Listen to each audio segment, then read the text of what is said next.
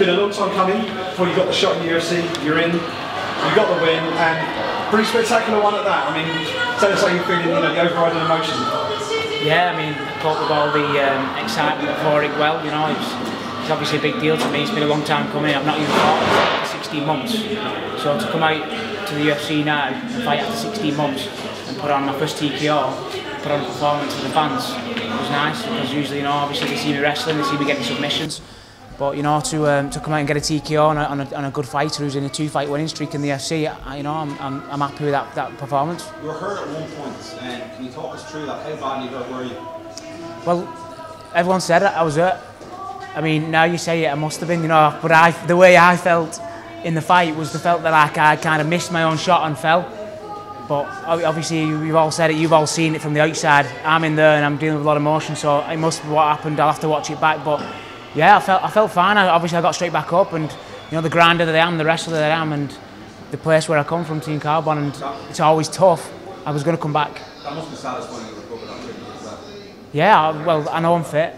You know, I mean, I know the training I do is is, is, is, is good, and I know it's hard. And the fitter you are, they, they reckon the quicker you recover. And you know, it felt like it was just a, maybe a flash knockdown then, but.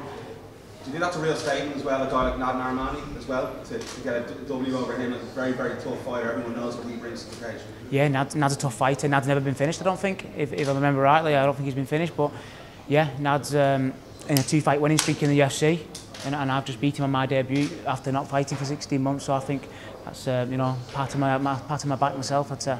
How was the run up to this fight? Because obviously Darren Till was campaigning for so long to get you into the UFC. Did you feel any pressure, or did you enjoy this moment? Um, you know, with so many people knowing your name because of Darren Till. I enjoyed the moment.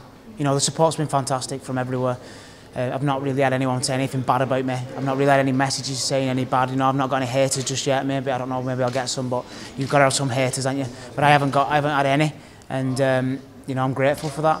And I didn't. I didn't. I dealt with all the pressure well. I felt. You've competed all over the world, and you've competed in a variety of disciplines. But the feeling of walking out into the UFC octagon in London on fight night, is it comparable to any of the other things you've done, or is this going to stay with you? this is the, this is the biggest thing I have done. But you know, I've obviously done things that kind of lead up to this to help me get this experience. And obviously, I've walked out into um, championship fights with Darren Till, and I've always took a backward step and thought, you know, what would I, how would I feel if this was me? When there's thousands of fans screaming for him and stuff, I felt how would I feel? And you know what? I felt comfortable. I felt like I belong here, and I think I proved I belong here. The performance for sure showed a, uh, a guy with absolutely no octagon jitters and nerves. You looked like you you looked at home in the Yeah. cage. Is that how it felt? Yeah, well, I think oct- octagon jitters are just a mindset, and I know I've got to have a strong mindset, so I know I can walk out there and perform. Given that it was your debut and you know you want to impress, you want to make a statement on your debut. When you rocked Narimani, and one of the things that impressed us in the room when we were watching the fight back was the fact that you didn't just go crazy and dive straight in when you saw that he was rocked. You, you sort of kept your distance and picked your shots really well. Talk to us about your mindset when you realised that you had Nad, Nad rocked and how you went about sort of actually piecing the strikes together and getting him finished. Yeah, I, I've always, I suppose I've always visioned it. How would I do? What would I do if um, this was happening? And um, I always knew I'd stay relaxed and, and stay composed and finish the fight. But I know quite a lot of people um, have said, why did I not push the takedown more? Because I didn't. I didn't even in the first round. It was just towards the end of the first round that I, I pushed the takedown. But um, you know, I mean, truth is, is, is I, I, I tore my, I tore my hamstring two weeks ago. A grade two to, um, hamstring tear, and I was never going to pull out this fight. So the thing that did my hamstring was a, was a wrestling was, was, when, was when I was wrestling. So after that first takedown, I felt my hamstring. So that's why I probably stood up a little bit more as well. So I was a little bit hesitant with my takedown. So I've not even had to had a chance to throw my true wrestling tonight. I got one takedown, but I've not had the chance to show my true wrestling, and there's a lot more to come with that. British rest, sorry, British fighters have got a reputation overseas as Brits can't wrestle. You're you're the sort of shining. That's why I'm here. That's why I'm here because I'm going to show that, that we can wrestle and I can wrestle, and I, I can I can compete with these American guys who's at the top, and that's what I want. What would you like? You know, I'm gonna. I've, I've, I got married a few weeks ago, so I'm gonna go on um, have my honeymoon. Sent my wife on her honeymoon. I think she deserves it. She's put up with me a long time now, so I'm gonna go and enjoy that. But I'm a kind of guy who's gonna who's gonna have a quick turnaround and a, and a fight whenever. And um, you know, if the UFC call and said there's there's a kind of pull out in a few weeks and or a European show local, I'm ready for it, and that's the way I am. Do any minds? Any? Do you have any names in mind? No, no names in mind just yet. I've got to probably um, tally up some wins and then I can maybe start calling these top guys out. But one of my goals is, you know, to get to the top 10 as quick as I possibly can. Hopefully this year, early next year, that I want to be in the top 10. When your teammate Darren, speaking of, you know, your teammate Darren has made that run pretty quickly. Are you going to try and kind of follow those, those shoes, get those big fights in quick, so that you're challenging for a title within 12 months? Of course, yeah, yeah. I want to be, um, I want to be getting to them top guys as quick as I can.